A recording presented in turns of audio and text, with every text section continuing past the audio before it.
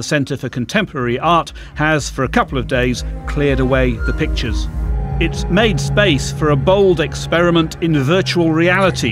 How do you use VR in music?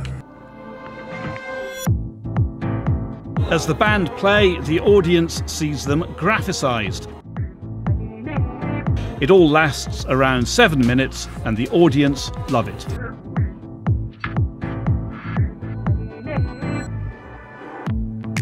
You entered into this dreamscape landscape that was somewhere like halfway between a desert, halfway between another planet.